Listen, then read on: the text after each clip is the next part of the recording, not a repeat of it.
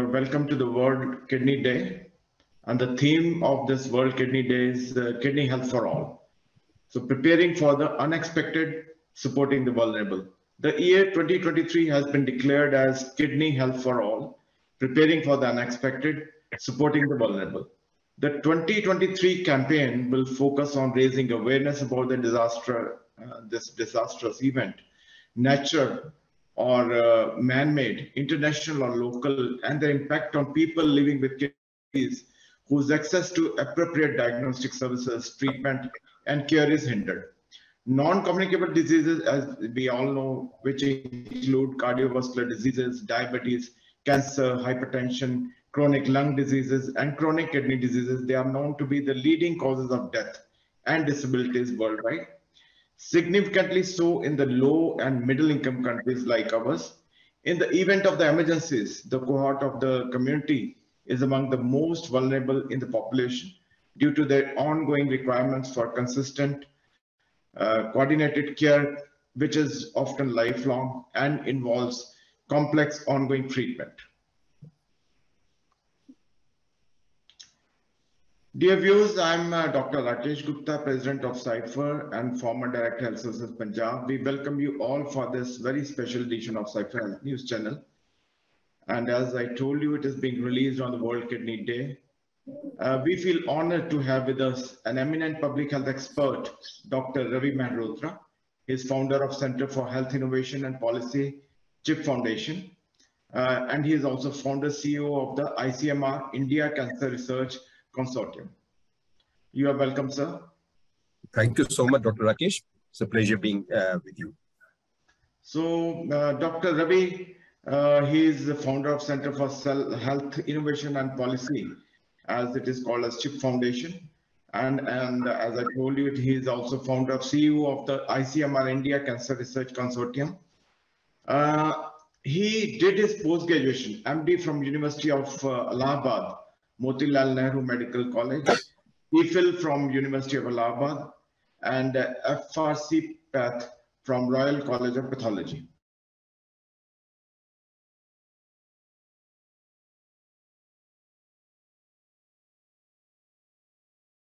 uh, CHIP Foundation, Associate Healis uh, Sekhsaria Institute of Public Health, and he is also affiliate of the Cancer Foundation of India.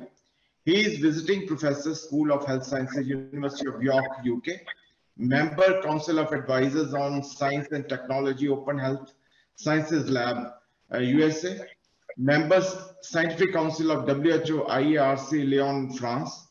He is subject matter expert, International Agency for Research on Cancer, uh, extraordinary professor, Pan African Cancer Research Institute, Pretoria, South Africa.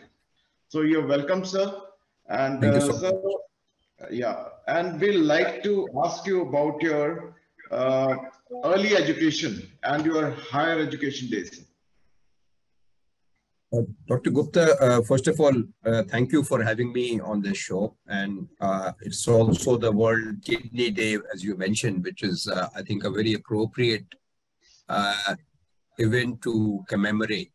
So, although I have been working in non-communicable diseases for a long time, just to take you part of my journey, I did my medicine from the Armed Forces Medical College in Pune and uh, after uh, graduating from there, I decided to pursue pathology as a, a specialty, being the mother of all medicine.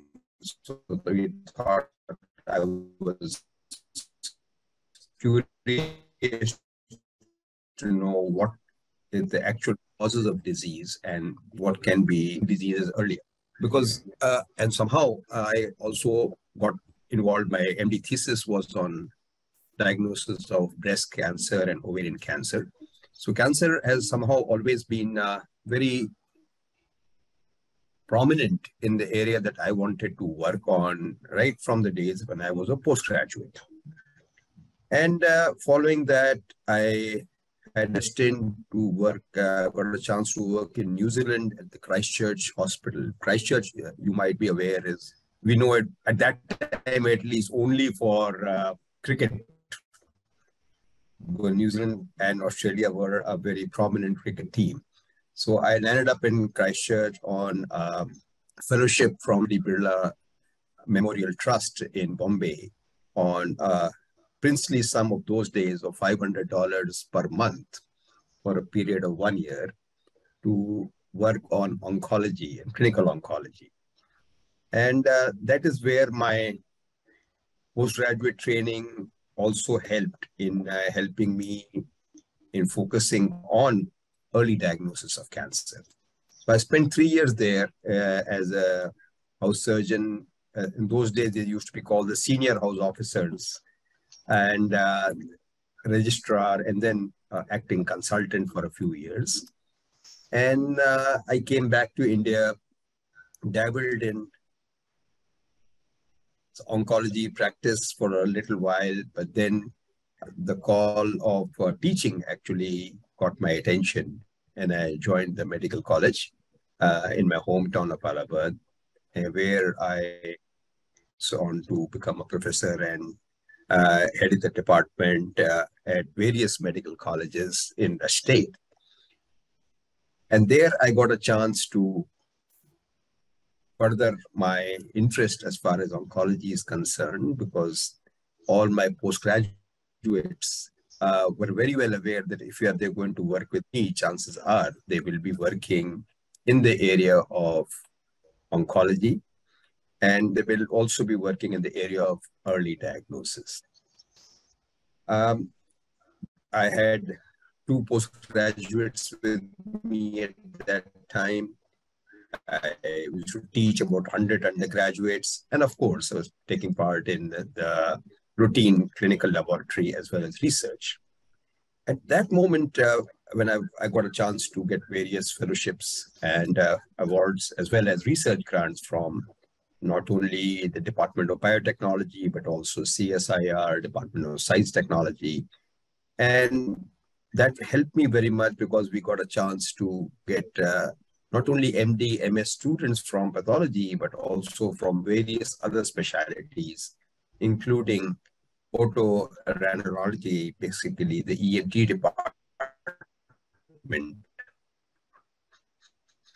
And uh, since in that part of this country of ours, uh, tobacco-related cancers are very common. And tobacco-related, the most common thing that we saw was uh, oral potentially malignant disorders. Uh, they're specifically looking at leukoplakia and more so oral submucous fibrosis, which is uh, fairly common oral potentially malignant disease in that part of the country in, in India and actually in most parts of the country, including the Northeast as well as the South. So uh, most of my research actually focused on uh, the diagnosis of these diseases, how we can use a very simple uh, technology of finding cells. So we, I became uh, known for my work in oral cytology and to see if we can just do a scraping with the brush and be able to diagnose infections or potentially malignant diseases as well as cancers by a very low cost and appropriate technology for India. Uh, but however, and uh, my students will also help me, and I must thank all my colleagues, uh, professional colleagues, uh, my seniors, my contemporaries in the various departments, as well as uh, we could do uh, some epidemiological work, and that is how I got first exposed to public health in a really practical way of how we can actually look at what is the epidemiology, what is the spread. And we also started a cancer registry to see where we can uh, make some sort of clinical epidemiological correlation. And uh, every year we have to have the Magh Mela or the uh, at the Sangam of the river Ganga and Jamna, and every 12 years for the Kumbh Mela, and that provides us with a little microcosm of the entire population. And there also the use of smokeless tobacco, that is uh, Zarda, Khaini, Gudka, and also a local uh, product which was handmade and very easily available called the Dohra. Later on, I went and wrote up an article about Dohra as well, which is the combination of slake lime and chewing tobacco. So that's how we started our interest. And gradually I started getting interested in how we can um, inform the tobacco chewers, hopefully help them to cessation, as well as how we can diagnose the lesions earlier, preventing obviously a lot of morbidity and mortality. Dr. Gupta, what happened was that sparked the curiosity and I got the opportunity to represent the country in various fora dealing with tobacco and oral cancer. So we wrote a book on oral cytology. I, my students and myself and many of my colleagues, we were lucky to be involved at the national level as well as the international level in this area. About 10 years ago, I got uh, the opportunity work, uh, apply to the Indian Council of Medical Research, which was looking for a leadership position. At, at that time, it used to be called the Indian, uh, the Institute of Cytology and Preventive Oncology. In short, it was ICPO, which is a combination of cytology and oncology. So that piqued my interest, and uh, I applied for that position. And I told my interview panel that uh, it'll, uh, I have an interest, of course, I'm a cytopathologist by training and I have an interest in prevention of, of uh, cancer. So I think I may be the right person for this position. Uh, fortunately, they did listen to me and uh, I joined uh, about 10 years ago, as I mentioned, in 2012. And um, there I could interact not only with students uh, postgraduates um, and patients, but also try and influence and formulate the policy for the country. Uh, being in Delhi, being the Department of Health Research Institution, we could we went later on to rename it as the National Institute of Cancer Prevention and Research, NICPR, which I think you are more familiar. Yeah. Uh, we had the opportunity to host you and at various fora. So I joined that, and gradually we uh, rebuilt that team because uh, for various reasons there was a lack uh, of continuity in leadership uh, before I joined. But we could, uh, with the help of many organizations, including WHO, including the U.S. National Cancer Institution, and of course uh, various bodies from All India Institute and PGI Chandigarh, where uh, we have had a very close collaboration. Uh, we could all get together and uh, formulate the policy for the early diagnosis of cancer. So we made the framework for cancer control. And uh, um, this is 2016, and the Honorable Prime Minister actually uh, announced that we should have this policy within three months. And with the help of the Ministry of Health, uh, my colleagues at the Department of Health Research and ICMR, and huge number of experts from practically around the world, we could um, at least put it in writing so that compendium came out. And we were tasked with the idea of training people in this, these areas. And the three common cancers were oral, breast, and cervical, which is practically 40% of all cancers. And many of them are preventable, especially the oral and cervical. So that is the time when um, uh, more friends and colleagues helped me out, and we could uh, the ECHO platform, which is the extension for community health outcomes based out of Albuquerque in uh, New Mexico. They were starting uh, their work in India as the ECHO India Trust. So we collaborated with them. We started various training programs. I think at that time we could train more than 4,000 individuals, uh, both um, physicians, dentists, in addition to Ayurvedic uh, Ayush doctors as well as paramedical personnel for capacity building. And gradually, more and more of my uh, own attention was being focused.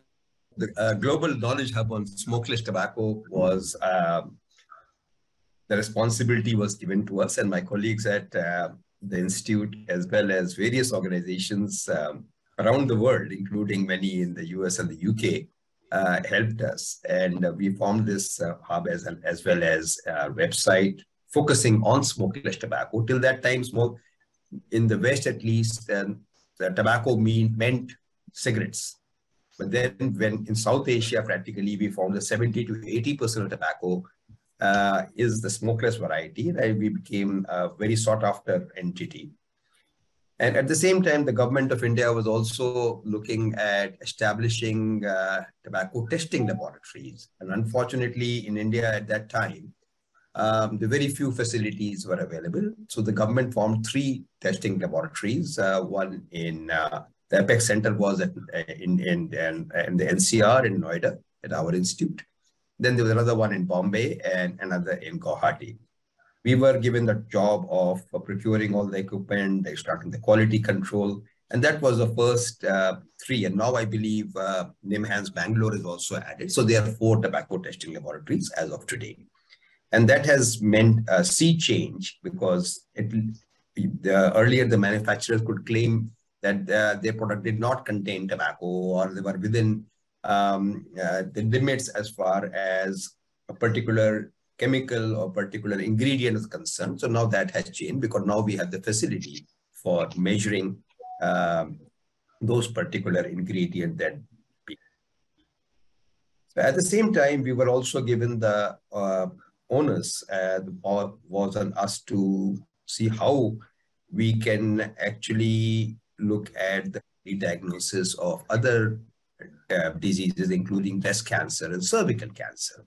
Mm-hmm. So the, as you know, for cervical cancer, now the WHO has also come up with the program of uh, 90, 70, 7, uh, 90, basically to uh, prevent 90%, uh, diagnose 70, and treat 90%. So uh, human papilloma virus research had been done for a long time at the institution. We could actually further that and come up and try out clinical trials of uh, how we can diagnose HPV using a low-cost PCR or the polymerase chain reaction test, uh, which is appropriate for our country nearly point of care.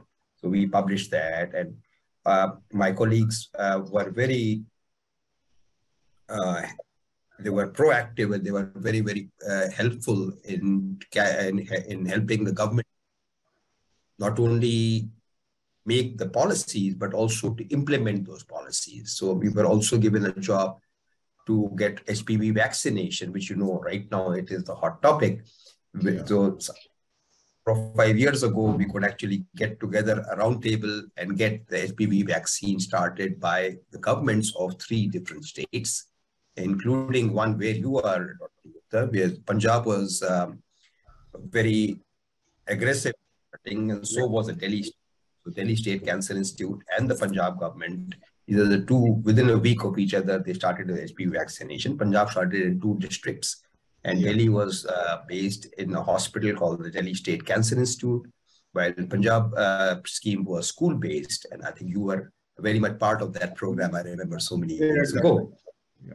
And very shortly, uh, I think another year or two, we were able to uh, along with my partners from uh, not only WHO, the ministry, and various other international and national organizations to smaller state, but very progressive state of Sikkim to start. And they are the only ones who are actually, even today, continuing uh, with the HPV vaccine. At the same time, we were asked uh, to help out, become a trial center for the Indian-made vaccine from the Serum Institute, Unfortunately, the COVID struck and, you know, that the plan went for a toss. Other uh, centers did continue. And now that hopefully COVID is behind us, uh, we are hoping to start by the middle of this year of uh, the Cervavac, which is the HPV uh, vaccine made by the Serum Institute, provided at a very, very low cost to the government as part of the universal immunization program. So these are the things which I'm very proud of that we could actually uh, further the cause. We published, we worked, we took part in seminar, advocate, we went for advocacy uh, to the government and to various policymakers around the country, around the world, that we should be self-reliant. And we had a small role to play as far as HPV vaccine is concerned. We had a relatively more uh, important, at least in our view, important role to play as far as coming up with a framework for control of cancer, looking at how the various states will be including what equipment in the PIP, how we are going to go for training, how we are going to evaluate uh, those programs as part of the National Health Mission, and at the same time, also look at training and retraining of these individuals. So I must thank all my colleagues, all my uh, students, all my uh, bosses at that time at ICMR and many other organizations who would were part of my journey till that uh, that area.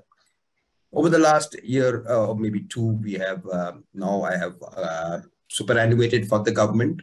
In between uh, the directorship of NICPR and now I did take up the CEO position of the India Cancer Research Consortium, which was a consortium that was planned to bring all the major cancer research bodies in the country within its ambit and to make sure that the research findings are translated. So we were again very lucky to have got a reasonable amount of money and up to five crores per research proposal we could give uh, to at least 10 bodies, uh, 10 organizations, including PGI Chandigarh and um, many other, even NGOs. There were two NGOs we could actually give a reasonable amount of money.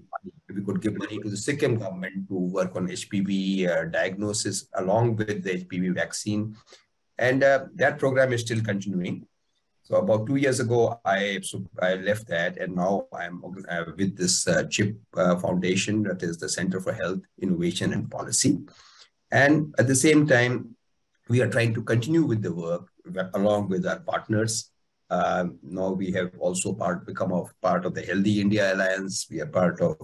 Uh, we are trying to get into the recognized body as far as various national and international organizations are concerned, and we are very keen uh, that uh, we can uh, soon be able to make a dent as far as public health is concerned. Yeah. So, I mean, I can probably go on for many hours, but I'm sure we do not have the time for that.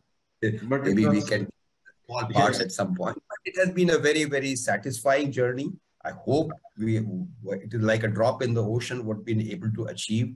And I think the key point that I wanted to bring across, uh, Dr. Rakesh, was collaboration and networking is really what yeah. is. Uh, and most people are now getting more and more tuned to the idea that many of us are working in the area of public health. We are trying to uh, put our might. But if we join forces with like-minded organizations, there is no dearth of money in this country. There is no dearth of talent in the country. The what we really lack is working together, and that is what my experience has been. The moment we got our national uh, partners, and we saw that we have no conflict of interest with any of them. We are actually, we all bring our own strengths and unfortunately weaknesses also. We are all human. So as an organization also, it is the same story. But if we have two, three, four, five organizations which are like-minded, we can build on each other's strength. We can learn from their failures. We can learn from their successes and replicate it in our own uh, situation as we go further. And I'm sure uh, that is what is happening. And I uh, congratulate uh, Sipher and his colleagues um, and his well-wishers for the kind of uh, good work that I've been seeing over the years. I have been involved uh, myself in many of your programs, and I look forward to a continued collaboration as well as a continued work going forward. Yeah. And I must um, thank you for uh, letting us know about your graduation days, then post-graduation days, and your work as a pathologist, psych uh, cytologist, your work in um, smokeless tobacco, your uh, work on breast cancer, oral cancer, precancerous lesions, and that is great. I think uh, AFMC graduation that uh, uh, built a very strong foundation for you um, because AFMC is a great institute to uh, I mean, uh, since you have graduated from AFMC, it is a great thing. And you also told about your special initiatives in ICPR and as in charge of the SLT hub. And as we all know that oral cancers, 90% of the oral cancers are because of the smokeless tobacco. So thanks a lot. And your work on those tobacco, tobacco labs so that is also a great initiative. And now we know that we have uh, four tobacco testing labs uh, in India. So, Dr. Ravi, it was nice uh, learning from you about your journey as a graduate, then as a postgraduate, as a cytologist, as a pathologist, mm-hmm. and uh, your initiatives as director NICPR and in charge of the SLT hub. So now we'd like to know about your message for the young public health specialists. Well, in addition to what I mentioned, Dr. Gupta, about collaboration and working with others rather than trying to be a solo worker, what I would really like to say as far as public health is concerned, that we should be focusing on the low hanging fruit. That is what is easily available and appropriate to our population. You see, for example, if I take the uh, diagnosis of cancer, right? So, I mean, we have all the latest biomarkers, we have uh, the latest genomic studies, but it is not really available to the masses. So, yeah. my approach to my and my advice to all my younger colleagues and students has always been see what is practicable in your situation. I am a cytopathologist, so most cancers can actually be diagnosed, at least they can be excluded by um, cytology. For example, you take a case of a lymph node, which is the most common presentation for most uh, malignancies. And uh, in our country, unfortunately, in spite of all the efforts that the government and our folks have been doing, tuberculosis is the most rampant. And it is very often that a tubercular lymph node is confused for lymphoma, or a tubercular lymph node is confused for a, a malignant uh, lesion or a secondary form of cancer. So go for investigations which are appropriate, which are low cost, ideally, but sometimes you have to go for a CT scan, sometimes you have to go for a PET scan. But 80% and more can be actually dealt just by the appropriate investigation. And then when we're looking at the individual for treatment purposes, always be on the lookout as what is the cost of the investigation? What are the side effects? I mean, it's a fundamental rule. I don't think I have to repeat that the disease should never be, uh, the treatment should never be worse than the disease, yeah. right? So, I mean, we have to look at the pocket end of the individual. We have to look at the general condition. For a 90 plus year old individual, if you're going for aggressive therapy, the chances are that there will be a lack of compliance. And also, if the person is not in a very strong financial position, they will take one or two rounds of chemotherapy or whatever treatment, radiotherapy, and then they'll give away. And always treat the patient the way you would treat your own near and dear. Suppose it is your own, one of your parents is there, or one of your brother's siblings is there. That is the approach. I'm sure things are improving. Now, with the latest National Medical Com Commission, has also come up with uh, training in empathy and communication. So I'm very hopeful that uh, our medical professionals, whether it is doctors, dentists, and paramedical and support staff, the amount of empathy that is going to be shown to the individuals is more. And also, once you start a program, whether it is a research program or it is an implementation program, make sure that there is the political will, the finance, as well as the capacity to make it sustainable. If you start a very fancy program and it finishes in one year and then everybody is left in the lurch, you would be in trouble. Yeah. If you diagnose a disease, whether it is hypertension, it is uh, kidney disease, or it is diabetes, make sure that the person is investigated appropriately and also followed up as far as treatment is concerned. There is, is it better not to diagnose something and leave the person um, in the lurch, but diagnose it, make sure that that individual is properly followed up. These are the sort of two, three things which I have learned in my uh, journey of uh, a few decades now in public health. And I really feel that uh, more and more people are getting aware of it. And I must congratulate Sipher and all his colleagues in uh, being able to give me the opportunity and other colleagues the opportunity to uh, share our journeys, share our travails, as well as our successes and failures with them. Thank you so much once again. And also on the occasion. In fact, it is a very appropriate message for the public health specialists and even for the clinicians that uh, because uh, we have very limited resources in our country. So practicability is very important and we must go for very low cost investigations and treatment. And that is really good. And so um, since it is a World Kidney Day, so what is your message on this day? Well, I think the theme for the 2023 uh, World Kidney Day is very appropriate.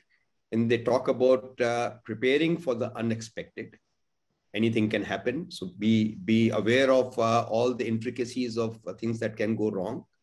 And right now, unfortunately, as you, as you have seen the earthquake in uh, Turkey and Syria, uh, anything, anytime can go wrong. And unfortunately, patients with chronic diseases, including kidney diseases, obviously uh, can be in real trouble. Or the COVID pandemic that just showed us that uh, how the NCDs, uh, whether it is cardiovascular diabetes or kidney, um, they, there were so many challenges as far as the health uh, infrastructure was concerned. It has already aggravated the insufficient global political health commitment towards NCDs, but preparation for unexpected is important. And what we really need is the policymakers adopting integrated health strategies. These healthcare services should be equitable in providing uh, access. Government should be including emergency preparedness plans, which I'm sure they are. And individuals should also be looking at emergencies by uh, keeping the emergency kit, including food, water, and medicines appropriately. Because even getting medicines if the shops are closed, what do you do? So I think uh, that's a very appropriate uh, message and the theme for this year's uh, um, Kidney Day, and that is prepare for the unexpected as well as support the vulnerable.